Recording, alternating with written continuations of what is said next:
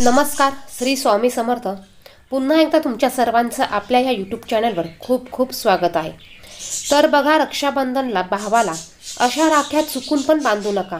या गोष्टीची काळजी आपल्याला घ्यायची आहे.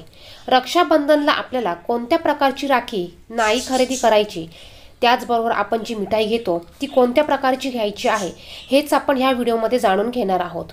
आपल्याला काही गोष्टींची माहिती नसल्यामुळे आपल्या हातून काही चुका होतात. मग त्याचे वाईट परिणाम आपल्या जीवनावर होत असतो. बहीण भावाच्या निस्वार्थ प्रेमाचा सण म्हणजे रक्षाबंधन. यावर्षी रक्षाबंधन तीस ऑगस्टला आलेला आहे. बहीण भाऊ या सणाची आतुरतेने वाट बघत असतात. दरवर्षी हा सण श्रावण महिन्यातल्या पौर्णिमेला साजरा केला जातो. बाजारात अनेक प्रकारच्या राख्या विकायला असतात. मात्र शास्त्रामध्ये काही राख्यांबाबत काही महत्त्वाच्या गोष्टी सांगितल्या गेल्या आहेत. त्याबाबतची काळजी आपल्याला घ्यायची आहे. चला तर मग जाणून घेऊया बहिणीने भावाला राखी बांधताना कोणत्या प्रकारची काळजी घ्यायची आहे. याचबरोबर बहिणीने भावासाठी राखी कोणत्या प्रकारची घ्यायची आहे? म्हणजेच बघा आपण जर का स्वामी समर्थांच्या केंद्रात जात असाल तर आपल्याला माहिती आहे की स्वामी समर्थांच्या केंद्रामध्ये राखी मिळते. बघा ही राखी पर्यावरणपूरक आहे. पर्यावरण संरक्षक ही राखी आहे. आणि या राखीमध्ये जेही काही घटक जेही काही मणी काही स्फटिक वापरल्या गेलेल्या आहे ह्या वापरल्या गेलेल्या वस्तू ह्या पर्यावरणपूरक आहेत. आणि याचे परिणामही आपल्या जीवनावर हे चांगले आणि सकारात्मक होत असतात. ह्या ज्या काही वस्तू आहे या धार्मिकदृष्ट्या अतिशय पवित्र वस्तू यामध्ये वापरल्या गेलेल्या आहे तर याची सुद्धा माहिती मी व्हिडिओच्या शेवटी देणार आहे. तर व्हिडिओ कुठेही स्किप न करता संपूर्ण बघा. प्रत्येक बहीण भावासाठी राखी घेताना अशी घेत असते की तिला असं वाटतं की ती काहीतरी वेगळी असावी.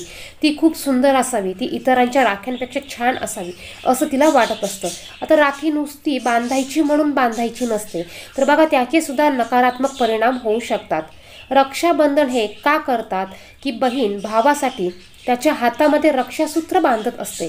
त्याची नेहमी प्रगती व्हावी त्याचे रक्षण व्हावे त्याच्या आयुष्यात कोणतेही संकट येऊ नये यासाठी बहीण भावाला राखी बांधत असते. आणि याचबरोबर बघा मिठाईसुद्धा खायला घालत असते. राखी पौर्णिमा हा बहीण भावांच्या बहीण भावांचा पवित्र नात्याचा सण आहे. बाजारात बघा भरपूर अशा राख्या विकायला असतात. तर आपल्याला राखी कशी घ्यायची? तर बघा राखी घेताना ती तुम्ही कधीही मोठी अशी राखी घेऊ नका. बघा मोठी राखी आपल्याला वाटतं की भावाच्या हाताला मोठी राखी बांधावी. पण भावाच्या हाताला तुम्ही मोठी राखी बांधतात. पण काम करत असताना ती पडू शकते तुटू शकते किंवा तिच्या तिला काम करताना अडचणी आल्या अडचणी येतात काही. तर मोठ्या राखीमुळे काही काम करता येत नाही किंवा मग ती मोठी राखी तुटून पडते. तर बघा त्यामुळे अशुभ परिणाम तुमच्या नात्यावर होऊ शकते. बघा असे अशुभ परिणाम त्याची तुमच्या जीवनावर होऊ शकतात. यासाठी राखी घेताना ही छोटी घ्या जास्त मोठी आकाराची घेऊ नका. याचा विपरीत परिणाम तुमच्यावर होत असतो. त्याचप्रमाणे बघा राखी घेताना ही कधीही काळ्या कलरची राखी तुम्हाला घ्यायची नाही. बघा राखी घेताना जर का त्याच्यामध्ये काळा कलर असेल तर अशी राखी तुम्ही चुकून चुकूनही घ्यायची नाही आहे तर बघा बाजारामध्ये अनेक डिझाईनच्या राख्या मिळत असतात. त्यामध्ये बघा देवाची प्रतिमा असलेली राखीसुद्धा असते. तर आपल्याला राखीमध्ये देवांची चित्र असू नये. आपल्या राखीमध्ये देवाची चित्र असलेली राखी आपण घ्यायची नाही आहे बघा देवाच्या प्रतिमेच्या राखी बांधणे अशुभ असते. कारण सर्वसाधारणपणे राखी भावाच्या मनगटाभोवती बांधली जाते आणि कधीकधी ती पडते ती घाण होते आणि कधीकधी ती तुटते. आणि तुटल्यामुळे ती कुठेही पडल्यामुळे ती कोणाच्याही पायाखाली येऊ शकते. तर यामुळे बघा हा देवाचा अपमान मानला जातो. आणि यानंतर बघा राखी खराब झाली तुटली तर आपण तिला कचरा पेटीत टाकत असतो. यामुळे सुद्धा देवाचा अपमान होतो. यासाठी तुम्ही राखी घेताना कधीही देव देवाची प्रतिमा असलेली राखी घेऊ नका. यानंतर अशुभ असलेले अशुभ चिन्ह असलेली राखी आपण खरेदी करायची नाही आहे बाजारात अनेक प्रकारच्या राख्या येऊ लागलेल्या आहेत. त्यामुळे भावासाठी राखी खरेदी करताना लक्षात ठेवा की त्यात कोणतंही अशुभ चिन्ह असू नये. अशी राखी आपल्याला घ्यायची नाही आहे अशी राखी बांधल्यामुळे बघा आपल्याला याचे अशुभ फळ मिळतात. याचबरोबर बघा तुम्ही छोटीशी राखी बांधू शकतात. बघा आता चांदीच्या राख्यासुद्धा छान डिझाईनमध्ये आणि छोट्या आकारात आपल्याला मिळतात. मधलं त्याचं जे पॅन्डल आहे ते चांदीचं असतं आणि बाजूने त्याला दोरा बांधलेला असतो. तर अशा पद्धतीची सुद्धा तुम्ही राखी भावाला बांधण्यासाठी घेऊ शकतात. याचबरोबर बघा तुम्ही स्वस्तिक ओम गणपती हे शुभचिन्ह असलेल्या राख्या जर का घेतल्या तर या राख्या तुम्हाला वापरल्यानंतर कुठेही टाकायच्या नाही आहे ह्या राख्या तुम्हाला पाण्यामध्ये निर्मल्यामध्ये टाकायच्या आहे. पाण्यामध्ये ह्या विसर्जित करायच्या आहे. तुम्ही हे करू शकत असाल तरच अशा राख्या तुम्ही विकत घ्यायच्या आहेत. याचबरोबर बघा तुटलेली राखी बांधायची नाही आहे राखी खरेदी करताना बहिणींनी हे लक्षात ठेवावे की कधीही तुटलेली राखी खरेदी करू नये. राखीचा धागा वेगळा आणि राखी वेगळी असेल तर ती खरेदी करू नका. अशी राखी अशुभ मानली जाते. याचबरोबर जर का तुमच्या घरामध्ये जुनी एखादी राखी असेल तर तुम्ही जुनी राखीसुद्धा भावाच्या हाताला बांधू नका. बघा जर का जुनी राखी तुम्ही ठेवलेली असेल तर ती चुकूनही बांधू नका. यामुळे सुद्धा त्याचे निगेटिव्ह परिणाम हे दिसून येतात. त्याचबरोबर ज्या राख्या तुम्ही बांधायला आणतात आणि त्या जर का यूज करून झाल्यानंतर खराब झालेल्या असतील त्या कुठेही तुम्ही अशा फेकून देऊ नका. त्या तुम्हाला निर्मल्यामध्ये टाकायच्या आहेत. यानंतर बघा आपण राखी पौर्णिमेला मिठाई घेत असतो खायला. तर मिठाई घेताना सुद्धा आपल्याला कुठली काळजी घ्यायची आहे? तर बघा तुम्ही मिठाई अगदी साधी घ्यायची आहे. जसं की तुम्ही पेढे घेऊ शकतात. आता बघा बाजारामध्ये अनेक नवीन नवीन प्रकारच्या मिठाया सुद्धा आलेल्या आहे बघा एकदम डार्क चॉकलेटी काळा रंगाच्या मिठाई असतात. तर तुम्ही ह्या मिठाई घेऊ नका. ह्या तुम्ही मिठाई अजिबात घेऊ नका. तुम्ही मिठाई घ्यायची असेल तर साधी घ्या पांढऱ्या कलरची घ्या पेढे घ्या.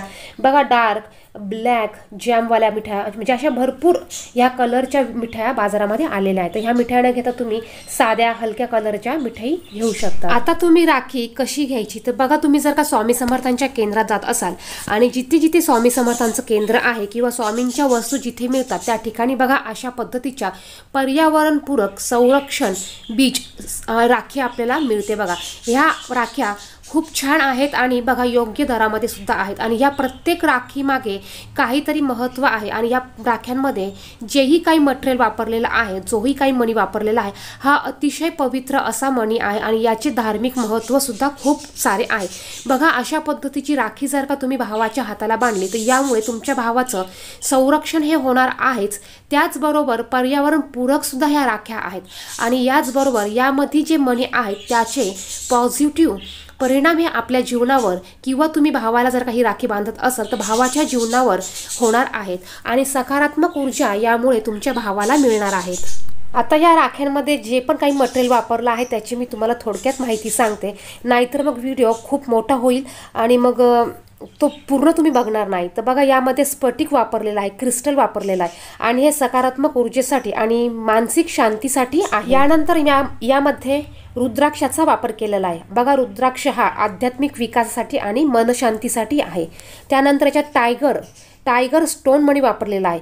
हा आत्मविश्वास वाढवण्यासाठी काम करतो. त्याचप्रमाणे तुळशीचा मणीसुद्धा यामध्ये आहे. बघा आता तुळशीचा मणी हा व्यसनमुक्तीसाठी वापरला जातो. तर हे सर्व मणी ह्या सर्व याच्यात वापरलेल्या वस्तू ह्या आध्यात्मिकदृष्ट्या महत्त्वाच्या आहे आणि याचे रिझल्ट आणि याचे परिणाम हे खूप चांगले आहे. तर तुम्हाला शक्य असेल तर तुम्ही अशा प्रकारच्या आणि पर्यावरणपूरक राखी असल्यामुळे अशा प्रकारच्या राख्या तुम्ही स्वामी समर्थाच्या केंद्रातनं नक्कीच घेऊ शकतात. तर व्हिडिओमध्ये सांगितलेली माहिती तुम्हाला जर का आवडली तर व्हिडिओला नक्कीच लाईक करा आणि इतरांना देखील हा हा व्हिडिओ शेअर करा. चॅनल चॅनेलवर तुम्ही नवीन असाल तर चॅनेलला सुद्धा सबस्क्राईब करा. धन्यवाद. श्री स्वामी समर्थ.